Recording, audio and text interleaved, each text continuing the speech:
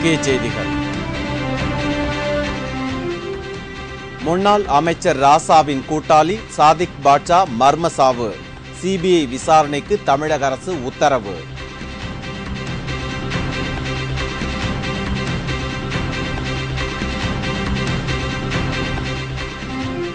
பதவி நீக்கத்தை எதிர்த்து குடியரசுத் தலைவரிடம் மேல் முறையீட்டு மனு. பி. ஜே. தாமஸ் அனுப்பினார்.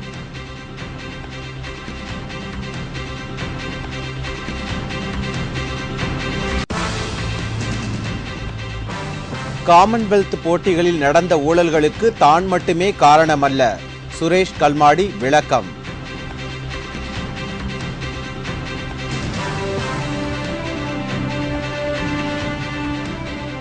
கேரள முதல்வர் அச்சுதானந்தருக்கு தேர்தலில் போட்டியிட வாய்ப்பு இல்லை. மார்க்சிஸ்ட் மேலிடம் முடிவு.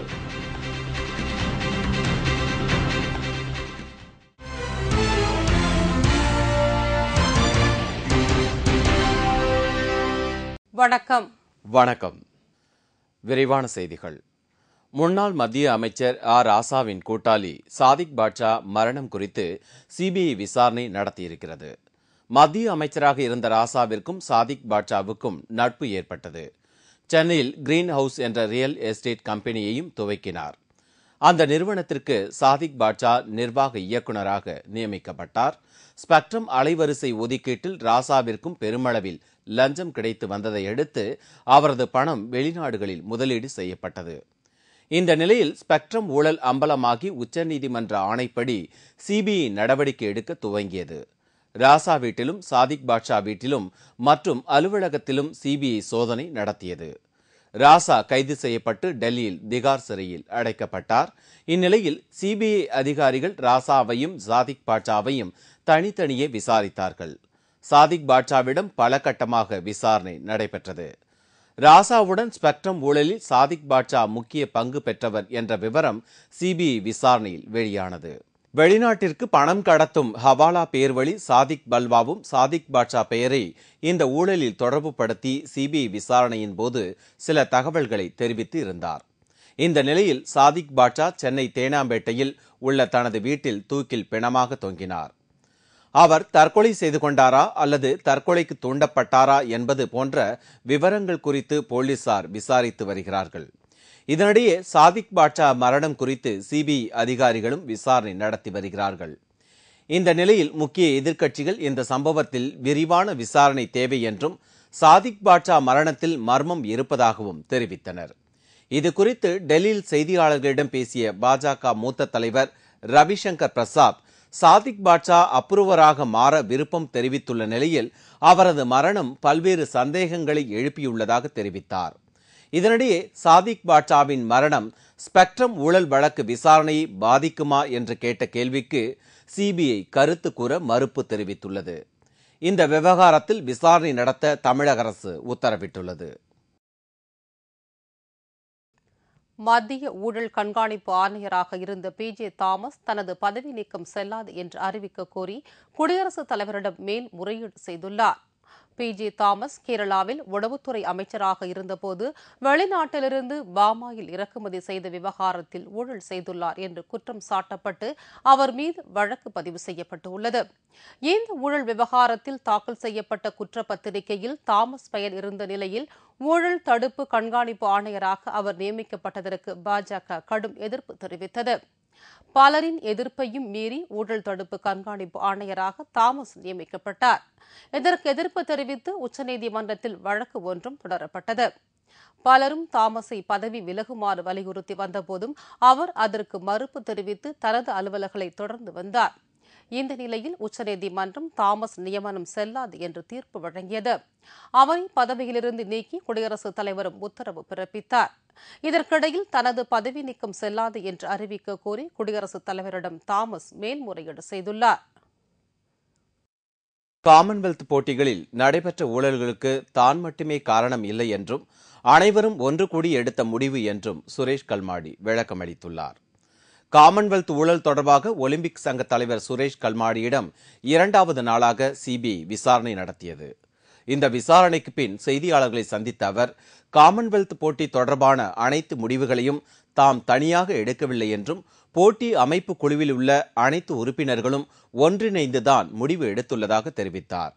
மேலும் போட்டி அமைப்பு குழுவின் தலைமை நிர்வாக அதிகாரியாக ஜோனல் சிங்கை அரசு நியமித்தது என்றும் நிதி தொடர்பான விவகாரங்கள் மட்டுமின்றி அனைத்து முடிவுகளும் அவரது தலைமையில்தான் எடுக்கப்பட்டது என்றும் கல்மாடி தெரிவித்தார்.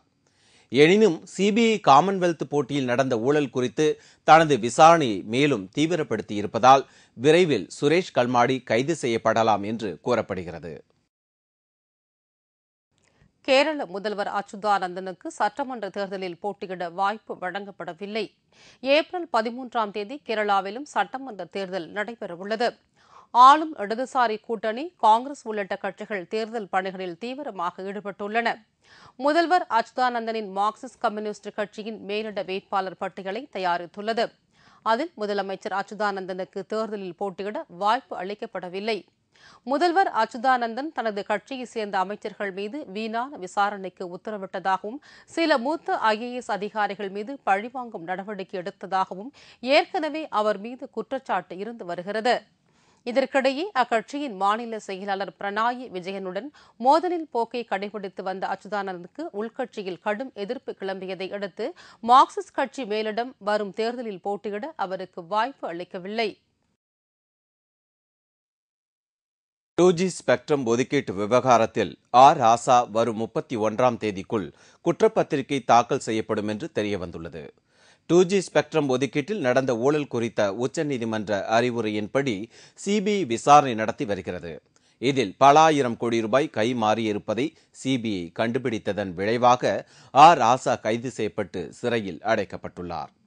மேலும் இந்த விவகாரத்தில் முதலமைச்சர் கருணாநிதியின் மகள் மற்றும் மனைவி ஆகியோரும் விசாரிக்கப்பட்டனர். இந்நிலையில் ஸ்பெக்ட்ரம் உரிமம் பெற்ற நிறுவனங்களில் விசாரணை நடைபெற்று வருகிறது. இந்த ஸ்பெக்ட்ரம் முறைகேடு பற்றிய குற்றப்பத்திரிகையை வரும் மார்ச் முப்பத்தி ஒன்றாம் தேதிக்குள் தாக்கல் செய்ய வேண்டும் என்று உச்சநீதிமன்றம் கூறியுள்ளதை அடுத்து விசாரணை தீவிரமடைந்துள்ளது.